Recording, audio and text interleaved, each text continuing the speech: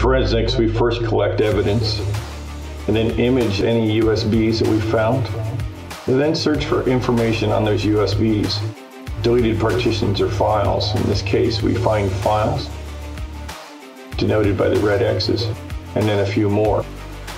From there, we start to extract evidence and then collect hash tables for each.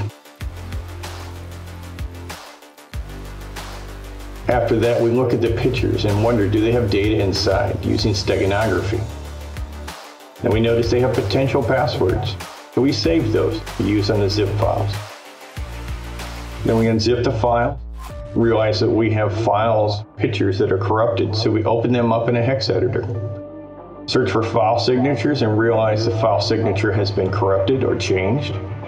We change it back so that we can get to the evidence. And now we have it